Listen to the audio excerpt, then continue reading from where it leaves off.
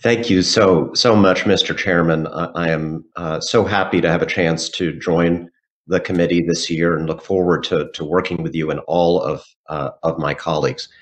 Um, Mr. Greenblatt, I, I, wanted to start by taking you back to something you said about the the, the people who who who were part of that mob that attacked the Capitol on January 6th. And you said, I think quite rightly, that um, under normal circumstances, we would have recognized them as just ordinary Americans um, who were absolutely convinced in that moment that what they were doing, this deviant thing that they were doing, was something completely normal. And they were also probably convinced that most Americans were completely on their side, agreed with them. Um, and you mentioned that one reason for this, and this is, I think, the, the core problem we face, is that that they were radicalized to these beliefs on on social media. They came to, to, to believe that what they were doing was normal and everyone supported them. Um, and my, my, my first question to you is how, how did that happen? Did they just wake up one morning, these school teachers and real estate agents and fitness instructors, and decide they were going to search on the internet for neo-Nazi beliefs or white supremacy, or did something recommend it to them? So, Congressman, oops, am I mute? No, I'm not mute. Congressman Adamski, thank you for your question. And again, as someone who I know throughout your career, you've looked at human rights issues around the world. I think what you probably saw happen on January the 6th bore resemblance to coups and other insurrections you've seen in developing countries across the planet. It did, yes. So I want to say one thing that builds upon my earlier answer we need to recognize that those the reason why tens of millions of ordinary Americans came to the National Mall is because first, I will just say they were rallied to do so by mainstream politicians.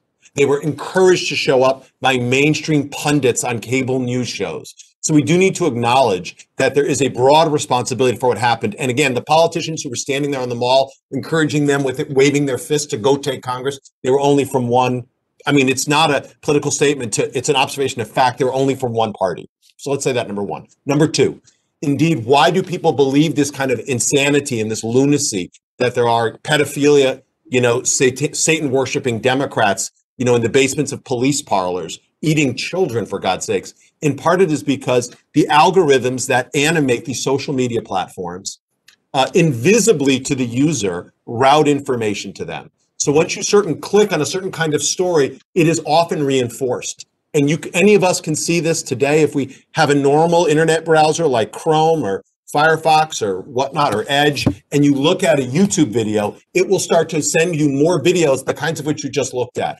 And so that algorithmic routing that happens to, un, to the user unknown shapes their worldview and creates what Eli Pariser calls filter bubbles. And they're deeply dangerous when they are telling people that, again, you have this conspiracy trying right. to hurt them. So just a, one, one, example of that, you know, Facebook in 2018, the, the, they did an internal study in which they determined that 64% of all joins, people joining an extremist group uh, uh, on their platform, was due to their recommendation tools. That it was recommended to them to do that by Facebook and and the reason for that is that, that these these algorithms um, uh, uh, are engagement based, right? In other words, they they are designed to maximize the time that everybody spends glued to the screen, and they figured out that what does that to us is content that reinforces our most passionate, intense beliefs, our fears and our hates. Isn't that correct?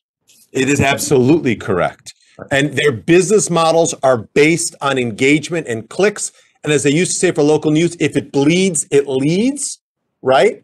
And so again, if, if it if it's a conspiracy, it drives clicks. And it is deep. We see that these things don't happen in a vacuum. Online hate and conspiracy theories can metastasize into real world violence. We saw that on January the 6th. And so you, you'd mentioned the legislation that I introduced with Congressman Eshoo. which is a narrow, narrow effort to deny these companies immunity under Section 230 if that kind of content, which they promote through these algorithms, contributes to real world violence. Um, and I would say to all my colleagues, we, we can believe that the biggest problem is on the right, on the far right, or on the far left. It, it doesn't matter. We can debate that. But which, whichever of those things you believe, you should be for this. because the mechanism works the same way. It pushes people on the left further left. It pushes people on the right further right until they reach an extreme that, as you rightly said, is totally out of the mainstream. Thank you so much. I yield back.